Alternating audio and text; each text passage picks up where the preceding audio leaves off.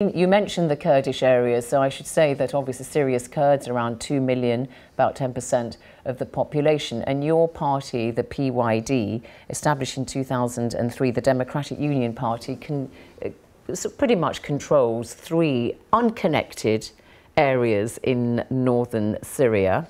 And in November last year, you declared it uh, the administration, the transitional administration of Rojava which is yes, Western uh, Kurdistan yes. and so on. So you have these three un uh, uh, unconnected areas, about 50 kilometres between them. And um, uh, what do you want to do with them? Do you want independence for them?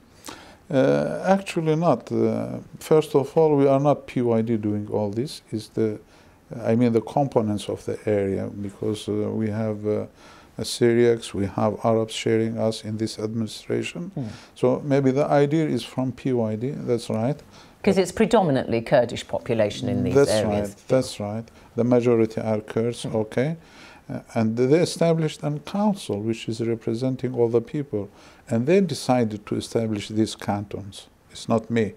So, uh, but you're, you're the co-PYD leader and you're going along with this right. and you've got courts and police Maybe, forces yes, and, and so on in, right. in this area. So mm. the question is, what do you see as your vision for it? What do you want? Independence? No. Greater autonomy? No, not at all, no.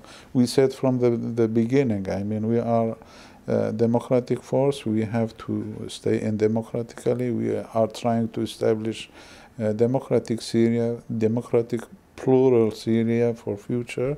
And what we are doing is a part of this solution at the end not keeping Syria, I mean all the people together. Mm. And our efforts recently were just for the, I mean, uh, to collect all the opposition in one uh, side, one delegation to be uh, against uh, the regime or at least to have sit with the regime. I mean, as uh, they have done in Geneva 2.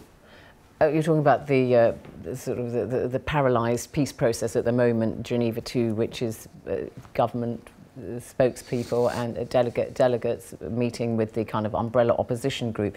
But just sticking with your Kurdish um, areas, you run the People's Protection Units, you even have your own force. And I've got to put this to you that an international crisis group report on the Middle East in May said the fact that you have these forces is one of the reasons why you have managed to maintain control of these predominantly Kurdish areas. But they say the most important factor, however, is your de facto alliance with the regime, which handed territories over to you while continuing to give support to those territories. You've heard this criticism before that, in effect, yeah. the Assad regime has turned a blind eye and allowed you to uh, run these territories? No, I think it's, it's a, a, mistake, I mean, to say that because uh, the, at the beginning we fought, I mean, we are fighting, uh, struggling against this regime since 2004, uh, Qamishlo uprising, uh, everybody knows. And since then we are struggling